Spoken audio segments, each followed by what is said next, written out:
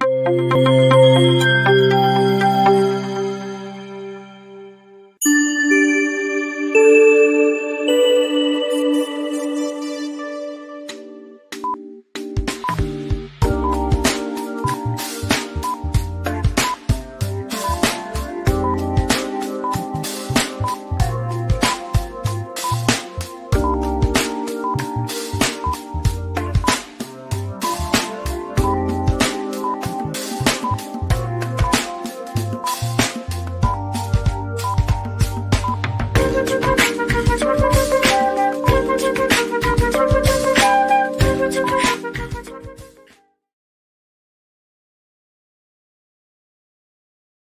Halo kawan Wiki semua, eh, perkenalkan, nama saya adalah Rima.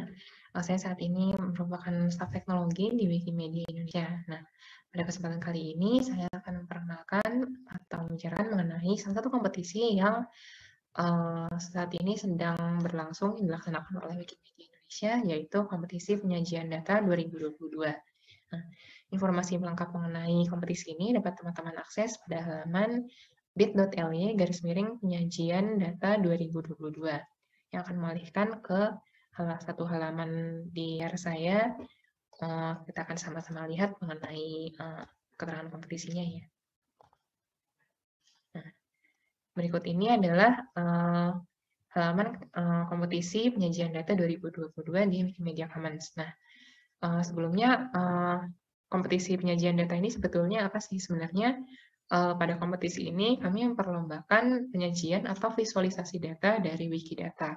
Nah, uh, Wikidata itu merupakan salah satu uh, proyek yang proyek dari Wikimedia Foundation. Nah, selain ada Wikipedia, ada Wikimedia Commons, ada juga Wikidata yang berisikan data-data atau berita butir data mengenai segala topik di dunia. Nah, pada kompetisi ini, peserta mengolah data dari Wikidata maupun dari sumber lain lalu menyajikannya dalam bentuk suatu karya visualisasi yang nanti akan kami terbitkan dalam lisensi bebas di Wikimedia Commons. Nah, kita simak dari atas mengenai ketentuan umum. Eh, peserta untuk kompetisi ini eh, harus merupakan warga negara Indonesia yang berdomisili di Indonesia, berusia minimal 17 tahun per 22 April 2022. Nah, pada kompetisi ini kami tidak membatasi latar belakang mengenai pekerjaan dari peserta. Jadi entah apakah Anda merupakan uh, memiliki latar belakang di bidang teknologi informasi ataupun bukan, uh, kami terbuka bagi Anda untuk mengikuti kompetisi ini. Nah, kompetisi ini adalah kompetisi perorangan, jadi uh, pekerjaan untuk membuat uh, karya visualisasi nanti dilakukan oleh uh, individu, oleh satu orang. Peserta kompetisi mendaftar melalui formulir yang ada di bagian bawah halaman nanti. Nah, lalu ada beberapa ketentuan uh, batasan peserta, uh, staf konsultan dan magang Wikimedia Indonesia saat ini tidak boleh mengikuti kompetisi ini.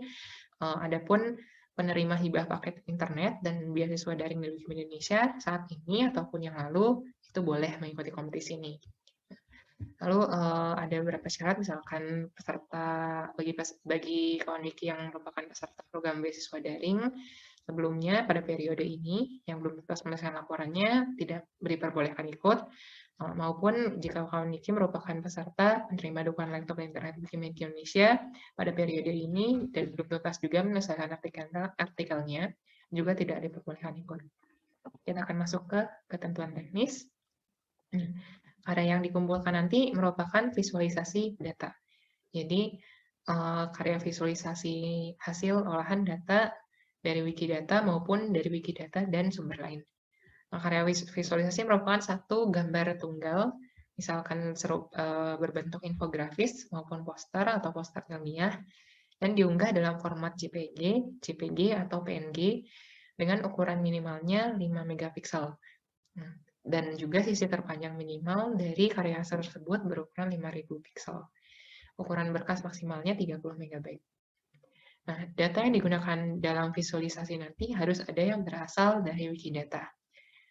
Atau uh, data yang teman-teman gunakan nanti uh, harus salah satunya harus bersumber dari Wikidata, tapi bisa juga berasal dari sumber lain.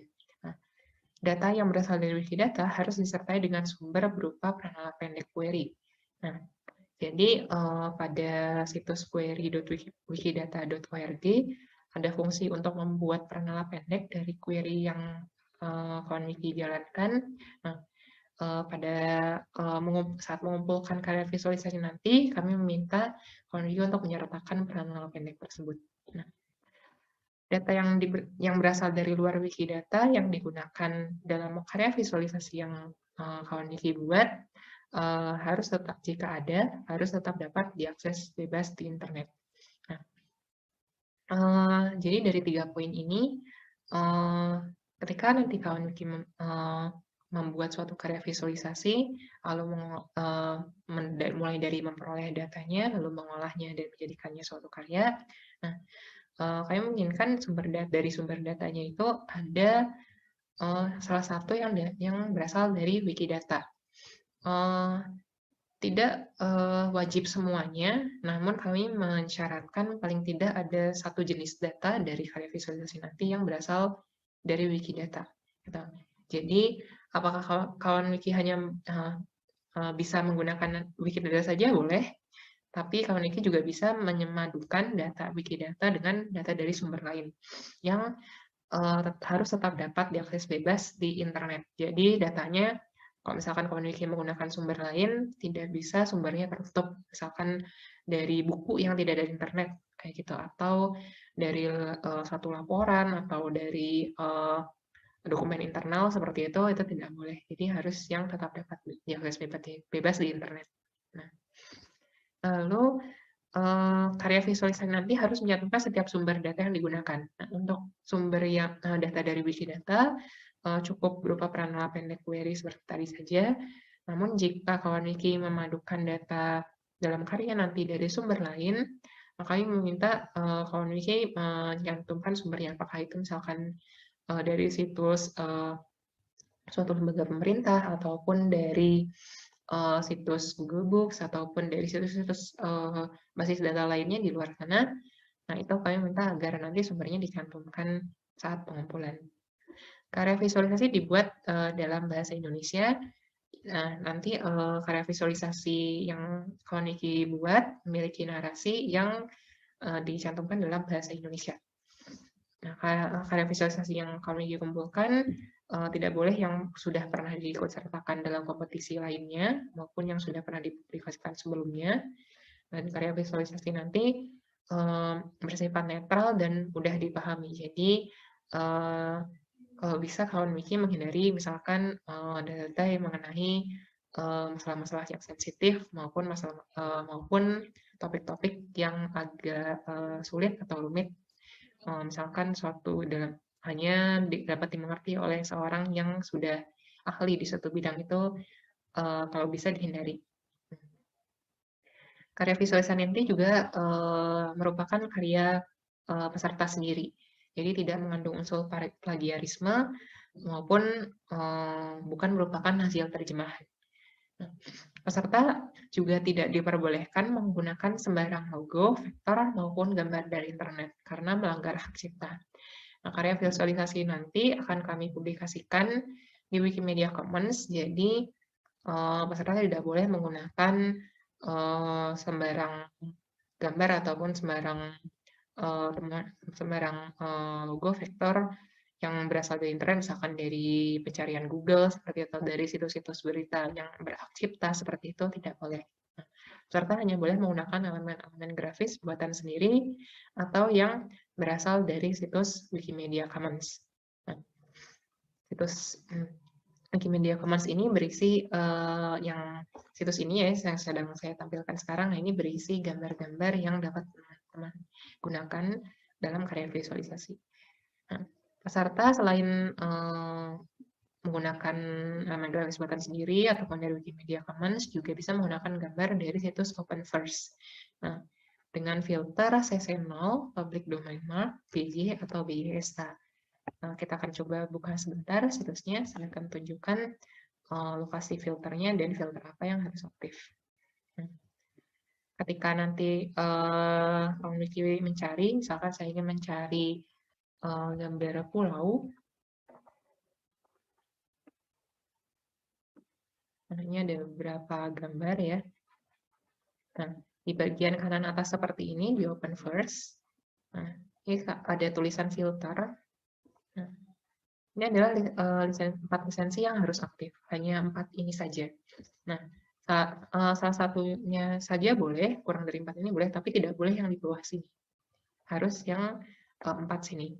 Nah, jadi gambar-gambar yang ini yang Kalmiki boleh gunakan dalam karya visualisasi nanti.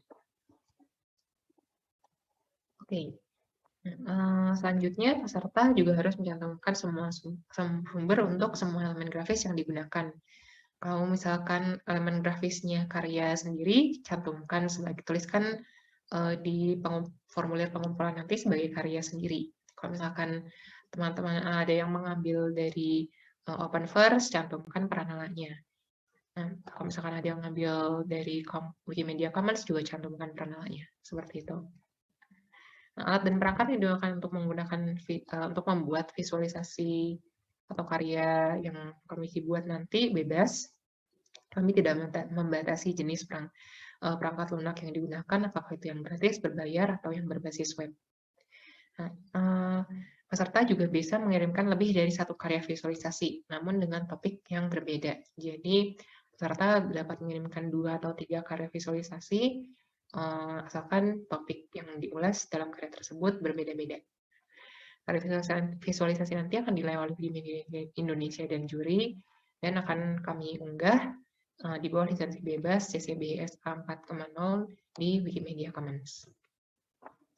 Baik, untuk hadiahnya kami menyediakan beberapa hadiah bagi kawan Wiki yang nanti uh, beruntung atau uh, berkesempatan untuk menjadi pemenang dari kompetisi ini mulai dari yang juara satu, juara dua, dan juara tiga, kami menyediakan tablet gambar. Nah, serta hard disk eksternal, souvenir, serta sertifikat. Nah, uh, hadiahnya nanti uh, selain uh, pemenang juara satu, dua, dan tiga, lima orang peserta terbaik lainnya uh, juga akan mendapatkan hadiah hiburan dari Wikimedia Indonesia, yaitu berupa gift card Tokopedia sebesar 500.000, souvenir, juga sertifikat. Nah, jadi kawan Wiki berkesempatan untuk memperebutkan 8 tempat menang dari kompetisi ini. Jadi ada banyak banget ya uh, slot uh, atau peluang tahun kawan Wiki untuk bisa menjadi salah satu penerima hadiah. Jadi saya, kalau misalkan sudah uh, lihat ketentuannya, sudah lihat hadiahnya juga. Sekarang kita masuk ke bagian pendaftaran. Nah, uh, Wiki bisa mulai mendaftar menggunakan formulir ini. Nah, di halaman halaman kompetisi ini ada uh, tombol untuk masuk ke formulir di uh, Google Form. Nah, ini kawan Wiki silahkan isi formulirnya. Nah, uh, nanti setelah kawan Wiki uh, terdaftar, Konwiki juga uh, eh, sudah boleh mulai untuk membuat karya visualisasi dari data yang mau Wiki ingin dibuat visualisasinya. Setelah uh, nanti uh, karya karya selesai dibuat, Wiki sudah bisa uh, mengumpulkan karya tersebut melalui formulir ini. Jadi uh, pertama kita mendaftar dahulu, setelah mendaftar, kita mengerjakan karya suatu karya visualisasi. Setelah karyanya selesai, kita kumpulkan melalui formulir ini. Sebelumnya, eh, dalam situs, eh, dalam formulir ini, karena nanti akan mengunggah suatu berkas yang merupakan eh, karya visualisasi yang Komunike kumpulkan, Komunike harus menggunakan atau login melalui akun Google untuk bisa mengunggah karya visualisasi nanti. Nah, setelah kawan wiki masuk ke satu eh, ke formulir ini, nah kawan wiki bisa mengisikan surel, lalu nama lengkap, nama ponsel aktif, serta topik visualisasi data pada karya visualisasi yang kami kumpulkan. Nah, yang diunggah ada uh, pilihan ini. Nah, lalu uh, ini ada juga kolom untuk masukkan peranala pendek query Wikidata. Nah, jadi contohnya seperti ini misalkan uh, w.wiki 3 e 4 e ini nanti kawan wiki bisa kumpulkan, bisa uh, taruh di uh, pilihan ini. Pilihan Uh, kalau misalkan Community menggunakan lebih dari satu query, Community bisa menyertakan lebih dari satu peranala. Misalkan seperti ini, atau bisa juga ke bagian bawah.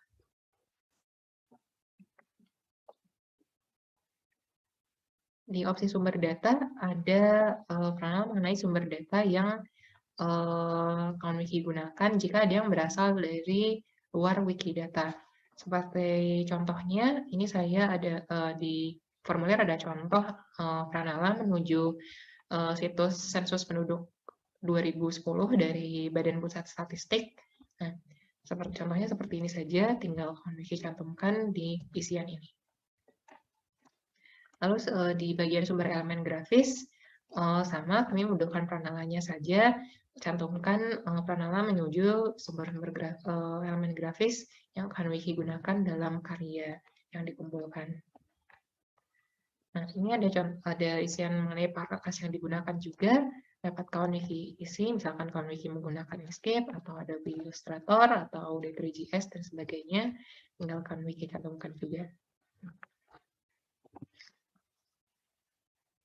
Di selanjutnya, uh, ada bagian contoh query. Nah, uh, jadi uh, data dari Wikidata dapat kita query menggunakan antarmuka query. Wikidata yang menggunakan bahasa Sparkle pada situs ini. Nah, kami juga memiliki video mengenai cara pembuatan query Sparkle secara sederhana yang dapat uh, kami saksikan di pada peranal ini. Dan di bawah sini juga kami menyertakan beberapa contoh query uh, yang dapat kon yang uh, isinya dapat Kauniki gunakan dalam karya visualisasi Kauniki. Ini sebagai contoh, saya akan coba buka satu mengenai aksara di dunia dengan tahun kemunculannya.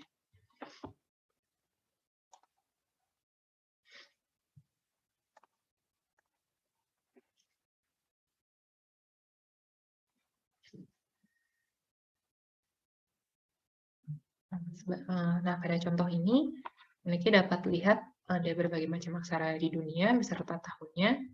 Kanwiki dapat menggunakan visualisasi ini, dapat uh, Kanwiki uh, jadikan uh, gunakan sebagai gambar, kita tampilkan sebagai timeline ataupun tampilkan sebagai tampilkan sebagai visualisasi lainnya, misalkan uh, dalam bentuk uh, yang nantinya dalam bentuk infografis yang juga bisa ditambah dengan keterangan-keterangan lain maupun visualisasi lain tentang topik yang sama.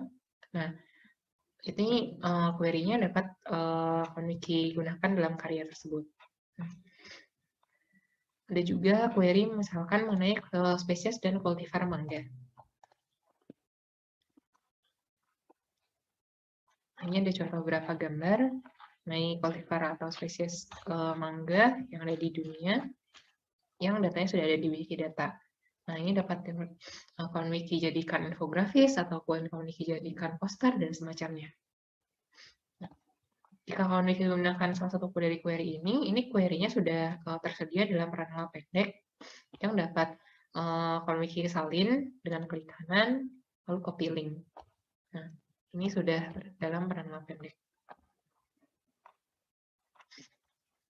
Lalu uh, di bawah sini juga ada beberapa materi mengenai uh, Sparkle dan Wikidata, ada bahasan mengenai Sparkle di Wikibooks, ada BDKS tutorial, ada juga Wikidata Tours.